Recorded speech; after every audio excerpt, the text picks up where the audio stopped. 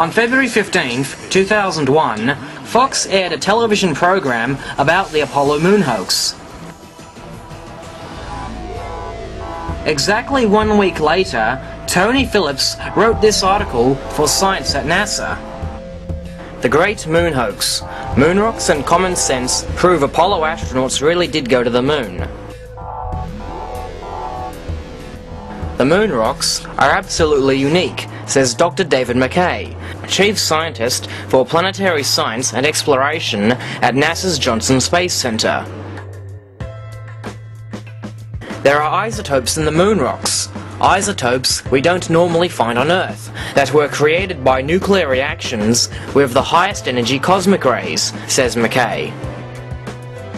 So why were we told by geologists the exact opposite about the moon rocks in 1999?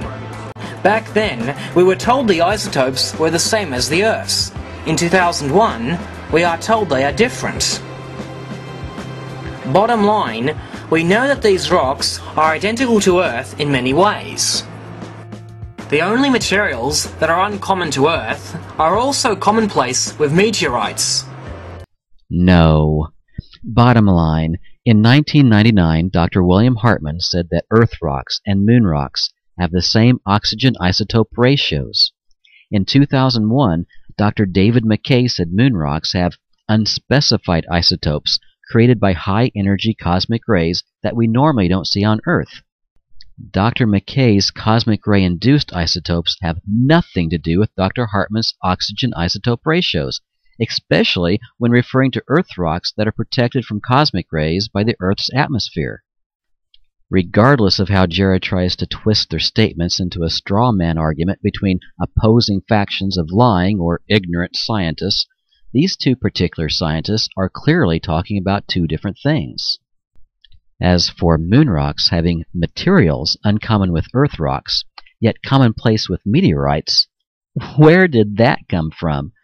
Up to this point, all Jarrah says is that moon rocks are identical to meteorites because they contain radiation.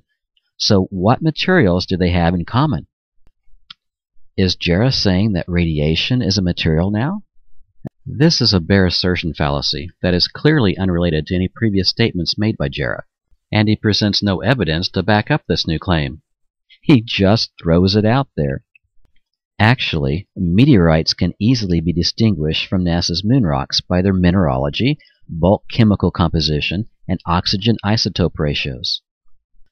About 85% of all meteorites that fall to Earth are common chondrites, which are composed mostly of silicate materials, olivine, and pyroxene.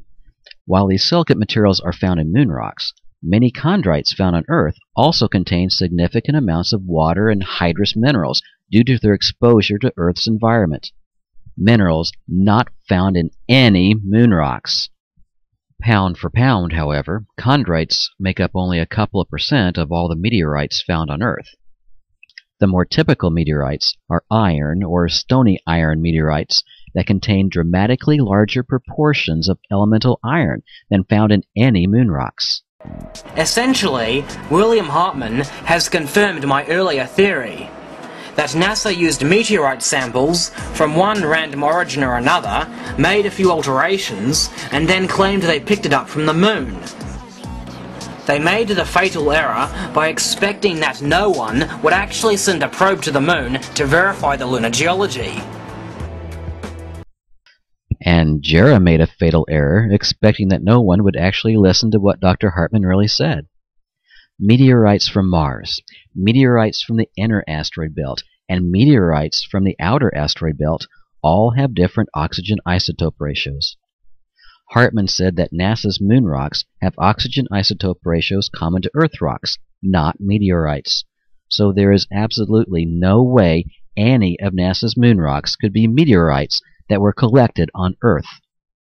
And, even though moon rocks can closely resemble rocks found on Earth, they have a unique chemistry and crystal structure due to their formation on a relatively small, cold planet and the absence of any terrestrial-style weathering. In fact, by comparing NASA's moon rocks and the Luna samples to common meteorites and Earth rocks, scientists have developed a set of quantitative tests that they can perform to classify unknown rocks or meteorites.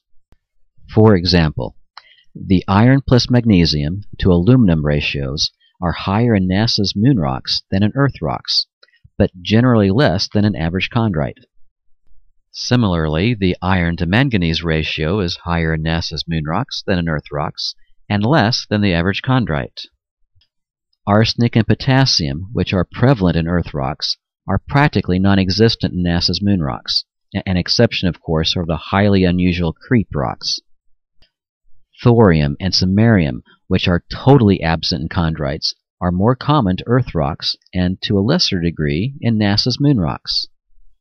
And don't forget the oxygen isotope ratios that are the same for moon rocks and Earth rocks and different in meteorites.